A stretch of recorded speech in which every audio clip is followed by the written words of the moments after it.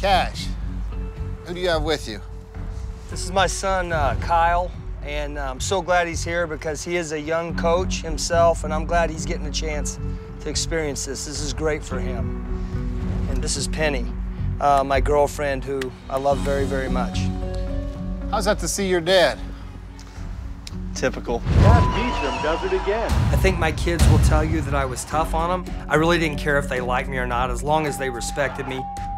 This is something I've seen my whole life, you know. It's just little things become explosive to the point where we've almost been in fistfights. It was fear-based, you know. You, you, you were scared to fail. And, and, and it, it goes back to that old school mentality. I, I was raised by an old school father. He, he was raised by an old school father. I mean, it's something that's been passed down the line.